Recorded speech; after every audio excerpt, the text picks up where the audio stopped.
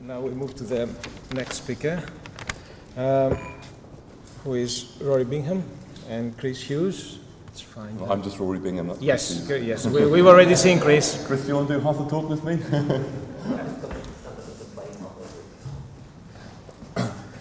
Uh, um, he's going to talk about sea level signature of the Atlantic meridional overturning circulation. okay, so now we move from the Pacific into um, where we prefer over here in Europe, it's the Atlantic. It's the most important place to us. Um, just joking. Um, okay, so I shouldn't really start a serious scientific talk with a cartoon like this, but nonetheless it illustrates the point. This is um, the, thermo, the, the ocean's 3D thermohaline circulation, or commonly called the global conveyor belt, as a, just to add to the fun of the situation. Um, basically, the part we're going to concentrate on in this talk is the Atlantic part, where you've got warm surface waters travelling north, releasing heat into the atmosphere as it does so, um, getting cold and then sinking and then returning and gradually upwelling in other parts of the ocean. uh, this is um, Um, in recent, recent years, I guess, we've become concerned about the stability of the overturning circulation, the, the global conveyor belt, um, from um, paleo observations and also um, from model observations. This has shown um, a, an experiment done at the Hadley Centre with the HadCM3 model that um, in a warming climate, melting of the Greenland ice sheet could possibly um, shut down the overturning circulation and um, have a drastic impact on um, global temperature and, and climate generally. So if we translate this um, cartoon to what we actually see in uh, an ocean model, of course we can't do this calculation for the real world, there's not sufficient observations, but we can do this in the model. And basically this is the zonally integrated um, transport at each um, model level and at each latitude, and then you calculate the overturning stream function. So we see here this, the um, um, warm surface there down to about 1,000 meters, traveling north, cooling, and then returning in the intermediate there from about 1,000 to 3,000 metres, and then you've got a sort of a, a counter-clockwise, um, much weaker circulation beneath that. so if we take the top 1,000 metres, well actually um, 100, we, we, we neglect the very surface there because we don't want the Ekman transport bit, we want the, just the geostrophic flow. So we take the, the we integrate this um, from 100 down to um, 1,000 metres, and we end up with a pattern like this. This is the, so we see here in the North Atlantic uh, a gradual, um, this, this is time here, going from the start of the model run, which was 19, um, sorry, 1984 to 2004, we see um, a gradual increase in the strength of the overturning in the uh, North Atlantic um, and up to about the mid-90s, and then a gradual decrease. So we want to try and understand the processes which are driving that and how they might impact on, on um, um, bottom pressure and then on to sea level. So beneath the Ekman layer, we see that actually the zonally integrated transport is given by a very simple relationship between the, just the difference really between the pressure on the eastern boundary and the pressure on the western boundary. Um, this is here um, a cross-section looking north through the model topography at um, 42 degrees north. So you can see we've got um, in the upper layer, basically it is really just the difference between the pressure on the west and the pressure on the east. Um, at lower levels, you get intervening topography, but um, our analysis shows that they, we can really neglect these.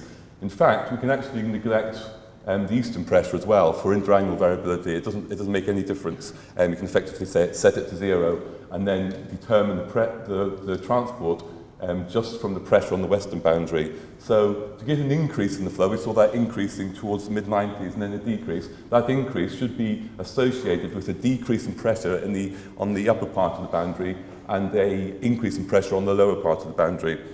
and this is um, the calculation, this is the reconstruction of, based, on, based on that geostrophic relationship, sitting, setting the eastern boundary pressure to zero just from using the western boundary pressure in the model. So we can, we can reconstruct the, the interannual variability very, very well just using the pressure on the western boundary. We can neglect and pr the pressure on the eastern boundary. This seems to be quite a general result. So taking a very different model, the HADSIM-3 model, a much lower resolution model, we get exactly the same thing. We can neglect the eastern boundary pressure and we can construct it just using the western boundary pressure. I've also looked at this in a very high resolution version of Ockham, the one that Chris showed earlier, 12th of degree. We get the same thing and also other models we've looked at. So either all models seem to get this wrong, or this is what really happens in reality. If we want to reconstruct the interannual variability overturning, we can just concentrate on looking at the western boundary pressure.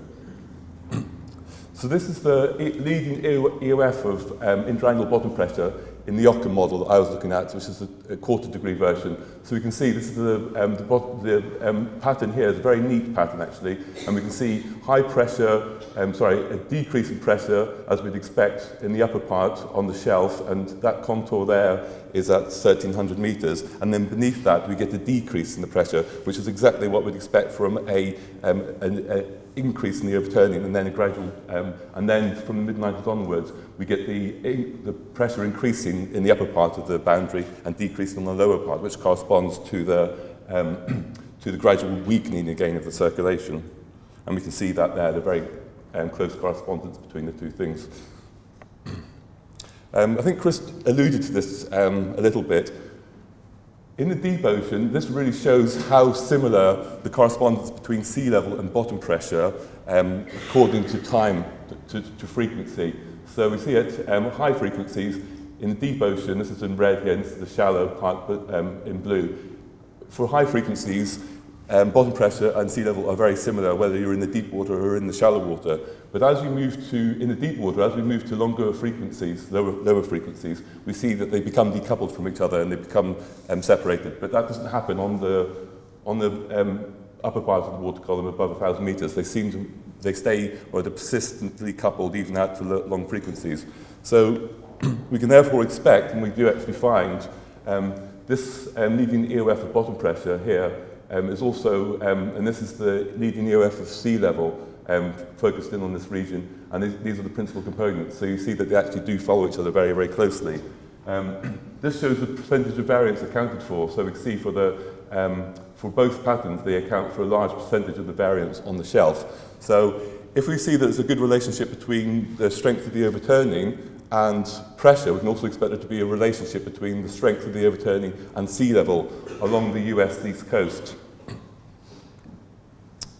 And in fact, this is just looking at the plotting the um, sea level anomaly against the upper layer transport. So we can see there is actually is a very linear trend between them with a slope of minus 0.5 um, 9. So that means that for every um, Sverdrup increase in the strength of the overturning, sea level on the, eastern, on the western boundary or the eastern coast of the US will drop by two centimetres, and conversely the other way around. Um, and this shows the, um, the actual transport and the transport based on this sea level re re regression. You can see that it actually does um, account for most of the variability. So that's, um, so far, we've been looking at model. So how does this compare to the reality? Of course, reality is never quite as simple as models, and that's why I generally like to stick to models, because they're a lot easier to do. But uh, um, if, we, if we do the same EOF analysis of the um, altimetry data, we do see, as I said, it's more messy, but we do see this top, topographically, um, sorry, bathymetry constrained pattern with um, um, a, a large signal on the shelf, which extends into the deeper ocean here. And we can also see that it accounts for quite a lot of the variance, not nearly as nicely as it does in the model, but it still accounts for quite a substantial part of the variance on the shelf. so then going from altimetry to tide gauges, we looked at these tide gauges, tide gauges here, which run from um, Atlantic City, which I'm very familiar now with from um, that uh, TV series, Boardwalk Empire, um, to um, St John's, Newfoundland here. And this, is, this, this solid red line is the leading EOF pattern and the dashed line is the percentage of the variance accounted for. So we can see that coherent mode accounts for over 80% of the variance from Atlantic City up to um, somewhere around New York area. and those are the ones shown in, in black here, the, um, black triangles, that doesn't come out very well. These here are the principal components. So in blue is what we saw in, in the um, model, and this is what we see from altimetry, and in green, and this is what we get from the tide gauges. Ideally, we want to look at tide, tide gauges. Obviously, they go back further. Um, and you can see that they correspond quite well. And one thing you do see here is a, an abrupt ju jump in coastal sea level between 1994 and, a, um, and 1996 of about five centimetres. That would, if we, if we take our relationship between sea level and meridian overturning circulation, that would correspond to a, um, a slowdown of about two and a half Sverdrups briefly for that period. So um, this is um, taking the tide gauge record, the ones that account for over 80% of the variance, and going back to, um, well, um, just before 1950. you can see that the, and this is New York to Yarmouth here, you can see there's a high degree of correspondence between them. So we just basically added those up to form a composite, and we took that as a, um, based on our regression analysis of a um, two centimetres for one Sverdrup relationship as um, a possible indicator of the likely range of past MOC variability. Um, we see that there's a basically a standard deviation of about 1.25 Sverdrups and with fluctuations of up to five, um, five Sverdrups. Obviously, there's not going to, the MOC is not going to be the only thing affecting sea level, so this shouldn't be taken that every single fluctuation here is a reflection of a fluctuation in the MOC, but this should set a, an upper bound, if you like, on the variability of the MOC, going back you know, over 50 years. Um, I'm now going to move to look at uh, um, um, the, the MOC variability in another model. This is ORCA, um, it's a quarter degree model, and it's a control run um, no simulation of any data from 1950 to 2004. And this is the upper layer transport. Um, I'm now looking over the whole range of latitudes from minus 30 up to 60 degrees. And I thought it appropriate, given the follow-on meeting, to consider how that um, variability projects itself onto the GLOSS tide gauge network in the model. So this is basically um, all the GLOSS tide gauges, um, this actually doesn't really, almost corresponds to the ID of the tide gauges, but it's just the number in the sequence, it's just a position in the sequence of um, tide gauges as they came out, as they, as they came off the website. Um, but roughly speaking, you, you go clockwise around the Indian, rim of the Indian Ocean, clockwise around the rim of the Pacific Ocean, and then up through the Atlantic on the western boundary, down the eastern boundary, and these are other places over here. But luckily what we, and, and this is the, um, this is the transport, this is every latitude, the skill corresponds to the skill of the transport reconstruction based on the linear regression between the sea level at the tide gauge and the, and the transport. So we see, luckily, because um, it's been a bit worrying if this high skill was right over here in the Indian Ocean or in the Pacific Ocean, we see a high degree of skill um, in terms of the re relationship between um, sea, coastal sea level at tide gauge stations in the Atlantic and the strength of the overturning. And we see that gradually as we move further north, um, the, the tide gauges also move further north as we'd expect. so this is the, the skill of the best transport reconstruction based on sea level at each altitude. So you can see we go from, a lot of it is above um, 70% skill Um, the lowest one here is at 15, where it drops down to 0.4. But again, we get very high skill up here. This corresponds to 55 degrees north. Basically, this is saying that most of the variability at a lot of these tide gauge stations is driven by MOC variability.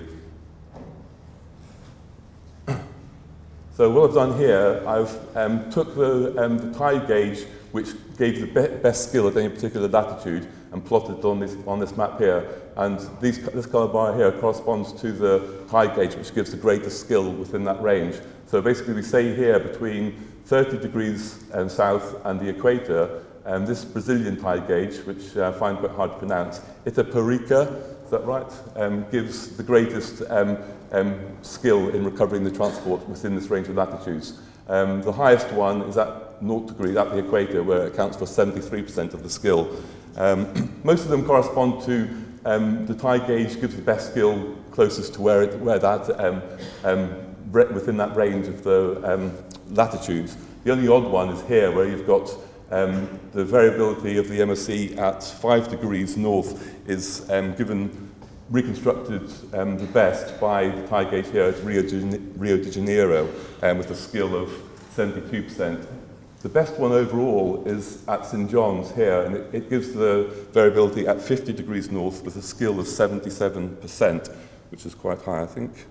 Um, and this is just um, example of the, the, this is just the time series here. So the actual um, transport at 50 degrees north is given in red, and we see from um, 19, 1960 a gradual increase to about I don't know, 1985, somewhere around there, and then a, a sharp drop off throughout the 90s up to 2004. And the reconstruction based on the sea level at St John's, I hasten to add this in the model, is shown in, um, is shown in blue. So you can see there's a very good correspondence between them, skill of 77%, and again we see a very similar relationship as we did in the Occam model of a, um, about a two Sverdrup um, sorry, a, a two centimetre increase in sea level associated with a, um, a one Sverdrup decrease in the strength of the overturning. These are the large-scale patterns of, um, so this is the correlation between the, the sea level at St John's and the bottom pressure and sea level. So we can see again this pattern very similar to the one we saw in Occam of a coherent mode along the, um, along the continental shelf here and very, very constrained by the, um, by the, by the um, edge, of the, edge of the shelf. And we see a, a pattern here, similar again to what we saw in Occam with a, a coherent pattern along the shelf down to about 30 degrees north and then extending into the deeper part of the ocean. So one good thing about St John's, it's a very long tide gauge record, so we can now start to bring some observations back into the picture.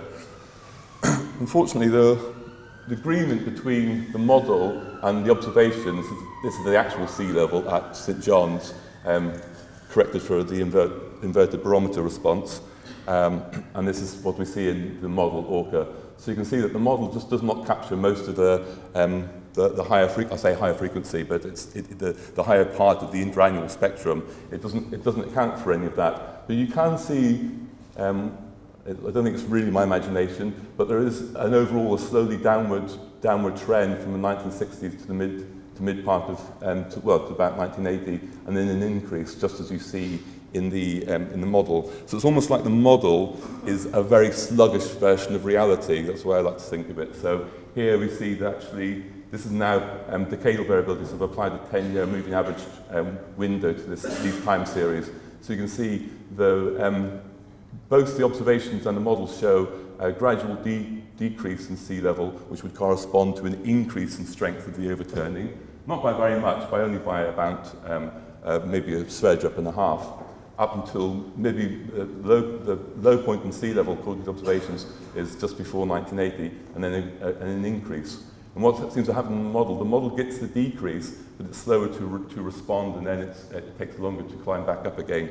So basically this suggests that there has possibly been, uh, from 1960s onwards, a gradually increase in strength of the overturning and then a, grad a gradual decrease again from 1980 or before 1980 up until 2004. So I'll just look at now just at the, um, the reconstruction for um, Itaparica in Brazil. Um, again, this is, this is the, um, the actual is shown in red and the reconstruction is in blue. One of the interesting things here is you, see, you do see quite a, um, a, some quite large changes in the south which do not appear in the north. So it questions the idea of the MSC as being some sort of coherent overall moving um, body. but again, we see very high skills, 73%, And here we now see a different relationship. Of course, we'd expect the sign to be different because F, the sign of F, has changed as we've gone across the equator. These are the patterns, the correlation, this is the bottom pressure correlation, so we can see here a very nice um, um, shelf following pattern similar to what we saw in um, the North Atlantic. And this is a, um, a bit more of a messy pattern, correlation pattern of sea level. One interesting thing is, even though there are differences between the North and the South, there is um, part of the circulation, as you would expect, which is coherent, coherent from the south to the north. That being the case, um, and taking it that sea level, um, that's manifested itself in sea level on the eastern boundary of both North and South America, we'd expect to see an anti-correlation in the sea level between the North and the South associated with the coherent mode of variability. And actually you do see in the bottom pressure pattern um, this, this here. So we see high pressure on here uh, corresponding to the increasing strength of the overturning, and we see sea level going down here in the, in the north, as we'd expect. So that, that hints at, a, um, in spite of the fact that there's, well, the variability at any one latitude, I think, is a mixture of a coherent mode, which is seen, seen reflected in this pattern, and then more localized features. that's just um, basically a zoom in to have a closer look at this pattern. So this is the um, tide gauge location, and this is the range where it accounts for most of the variance in the strength of the overturning. And we can see just more closely now this very nice relationship between the correlation pattern in bottom pressure and um, how it's constrained by topography. That, that white contour, I don't know if you can quite see it there, that corresponds to a depth of 2,000 meters. So just to summarize, um, models, all the models looked at now, I think I've looked at quite a range of models, enough to be able to be confident that most models will um, show that interannual fluctuations in the strength of overturning are primarily reflected in pressure on the western boundary of the Atlantic. Um, so either all models are doing something really wrong, or this is what really happens. And if we want to, um, if we're interested in triangle variations in the strength of the overturning, we can look at pressure on the western boundary. Of course, as Chris said, measuring pressure is, is, is a challenge that we can't, we can't do yet. So if we had um, one of the mythical non-drifting bottom pressure recorders, we could throw it into the, onto the continental shelf and um, pretty well reconstruct the overturning circulation. But um, we can't do that yet because we don't have the, the technology. But um, Of course, we do have sea level, and given that you'd expect there to be um, a, a strong relationship between, well, there is a strong relationship between sea level and bottom pressure in shallower waters, we can expect there to be a close relationship between the strength of the overturning on interdiurnal timescales and sea level along the east and um, eastern coast of both North and South America. This is what we do see in the model. Um, the observations aren't there to, to show that that's what happens in reality yet. Um, There's quite a nice simple relationship really in that a two centimetre increase in sea level or um, is, corresponds to a, a one Sverdrup decrease in the strength of the overturning. Um, that seems to be robust between models as well. Um, with that relationship, we can construct transport at 50 degrees north with a skill of 77% using St John's tide gauge. So that suggest that if you're interested in looking at long-term variations in the overturning, we should focus on, on the St John's tide gauge. Or of course, you know, bringing more tide gauges into the picture obviously will, in, will increase our knowledge. and then if we look at the south, we can reconstruct 70 73% of the scale of the intertriangle variations in the overturning strength using the tide gauge at, the, I'm going to say this for one last time, Itaparica. So if anyone actually doesn't know how to pronounce that, come and see me afterwards. So um, I'm not sure if this is a, if this is actually one of the ones. I, I looked at the data here, and there's not a lot of data, so I don't know if it's a if it's a tide gauge which is um, not being used anymore. But it does suggest that it would be quite an interesting one to um, focus some attention on.